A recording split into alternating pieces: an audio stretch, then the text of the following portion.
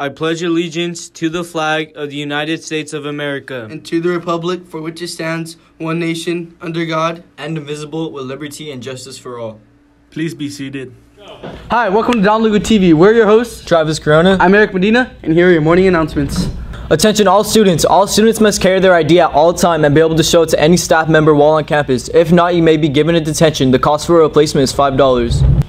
All students must be appropriately dressed for school each day. Only Don Lugo headgear is allowed. Dress code will be strictly enforced. All students need to be here on time every day. The bell rings at 7:25 and the tardy bell rings at 7:30. Attention all students, please be reminded that the gates will be closed in the morning after the tardy bell rings. All students will need to enter through the front office if you do not arrive on time. College, military, and trade school presentations will begin next week. Stop by the Career Center during lunch to sign up. Attention all seniors, are you interested in Military Service Academy after graduation? Stop by the Career Center for some very important seminar information. Students, if you completed the parking permit paperwork during registration, come by the student store to pick up your permit, including staff. Citations will be given out to those who don't have permits. Attention, all students, it's not too late to sign up for the free Chaffey College Dual Enrollment Program.